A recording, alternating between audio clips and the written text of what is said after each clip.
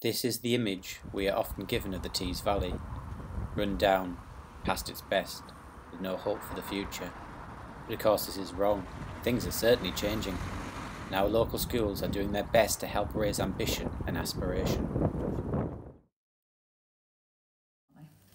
Now, a number of schools across Teesside are taking part in a concert in a prestigious venue next month.